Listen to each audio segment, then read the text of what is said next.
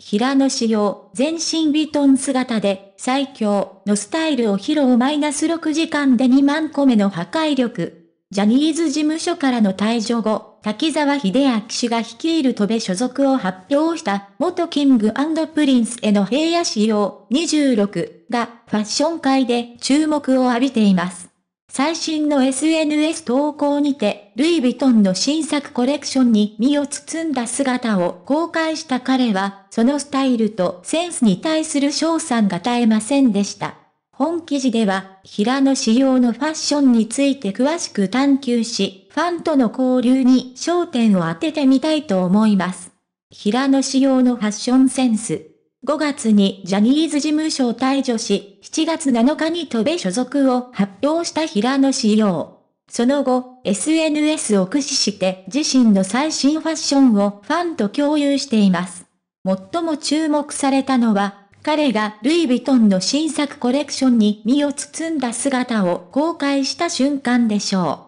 彼は、モノグラム柄をエンボス加工であしらったウォッシュデニム製の5分袖のシャツ、30万1400円を着用し、それに合わせて同シリーズのハーフパンツと茶色のフーディ、パーカー19万9100円をコーディネートしました。また、彼はモノグラムキャンバス素材の勝負りなバッグ25万6300円を携帯し、そのブランド自体をタグ付けする形でルイ・ヴィトンの全身コーデを堂々と披露しました。このファッションセンスについて、ファンからは、いけすぎ、かっこよすぎて呼吸忘れる、最高の着こなし、最強、めっちゃ似合ってる、などの絶賛の声が相次ぎ、SNS 上では彼のファッションが話題となりました。そのファッションが瞬く間に拡散され、投稿からわずか6時間で63万件以上の、いいね、と2万件を超えるコメントが殺到しています。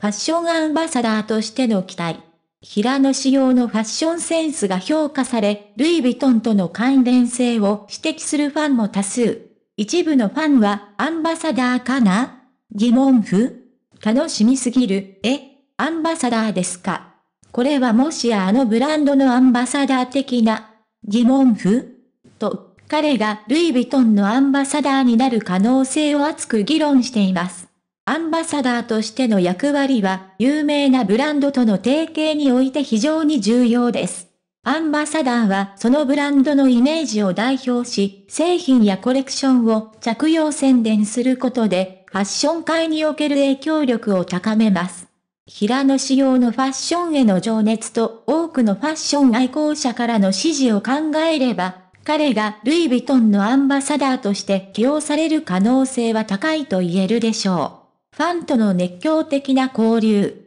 平野仕様の SNS 投稿に対する熱狂的なファンの反応は、彼の人気がいかに高いかを示しています。ファンは彼のファッションセンスだけでなく、彼自身に対する愛情も深く持っており、SNS を通じて彼との交流を楽しんでいます。彼の投稿には、ファンからの、最高、かっこいい、応援してるよ、といったポジティブなコメントが多く寄せられます。また、彼自身もファンとの交流を大切にし、感謝の意を表すために頻繁にコメントに返信したり、ファンへのサプライズを用意することがあります。このようなファンとの熱狂的な交流は、平野仕様のスターとしての魅力をさらに高めており、彼のファッション界での成功にも一役買っていることは間違いありません。結論。平野仕様の最新のファッション投稿は、彼のファッションセンスと人気がいかに高いかを示すものでした。